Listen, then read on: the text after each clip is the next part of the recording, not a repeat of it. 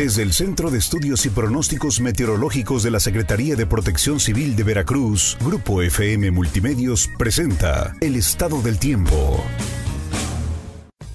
Son analizadas dos líneas de vaguada, una de norte a centro del país y la segunda sobre Campeche. Estos sistemas mantienen el flujo de aire cálido y húmedo hacia la entidad veracruzana que se combina con el calentamiento diurno y los efectos orográficos para generar nublados con lluvias y tormentas eléctricas aisladas en la zona montañosa central y porción sur del estado, esperándose que puedan extenderse durante la noche y las primeras horas del martes en zona costera. Las temperaturas seguirán siendo altas especialmente en zonas de llanura y costa con índices de calor elevados. Durante los próximos días se prevé aumente ligeramente el potencial de lluvias vespertinas en zonas de montaña y porción sur, así como por la noche en zonas de costa. En el Atlántico son observadas tres ondas tropicales desplazándose al oeste. La más cercana se localiza frente a las Antillas Menores y las dos últimas sobre el Océano Atlántico. Continúe al pendiente de las actualizaciones del estado del tiempo, informó Cecilia Ventura.